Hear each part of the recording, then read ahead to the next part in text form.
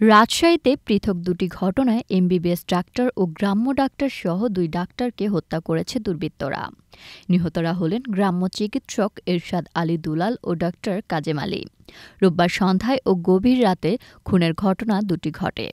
মাত্র কয়েক ঘণ্টার ব্যবধানে সংঘটিত এসব ঘটনায় মহানগরীর সাধারণ মানুষের মাঝে চরম আতঙ্ক বিরাজ করছে।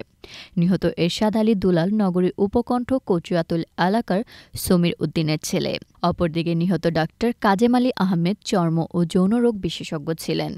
তিনি রাজশাহী ইসলামী ব্যাংক হাসপাতাল থেকে লেখাপড়া শেষে রাজশাহীর ইসলামী ব্যাংক হাসপাতাল এবং পপুলার ডায়াগনস্টিক সেন্টারে নিয়মিত রোগী দেখতেন। পূর্বশত্রুতার জেরে হত্যাকাণ্ডের ঘটনা ঘটেছে বলে জানিয়েছেন শাহ মকদুম থানার অফিসার ইনচার্জ ইসমাইল হোসেন। আসলে আইন শৃঙ্খলা পরিস্থিতিতে আমরা কোনো অবনতি এখানে দেখছি না। এটা কোনো সংঘবদ্ধ অপরাধ বলে আমাদের কাছে মনে হয় না। এটা ঘটনাটি ঘটেছে এবং আমরা সেটি ডিটেকশনের চেষ্টা করছি। সার্বিকভাবে আইন শৃঙ্খলা পরিস্থিতির উপরে এই ঘটনার কোনো প্রভাব রয়েছে বলে আমরা মনে করি না।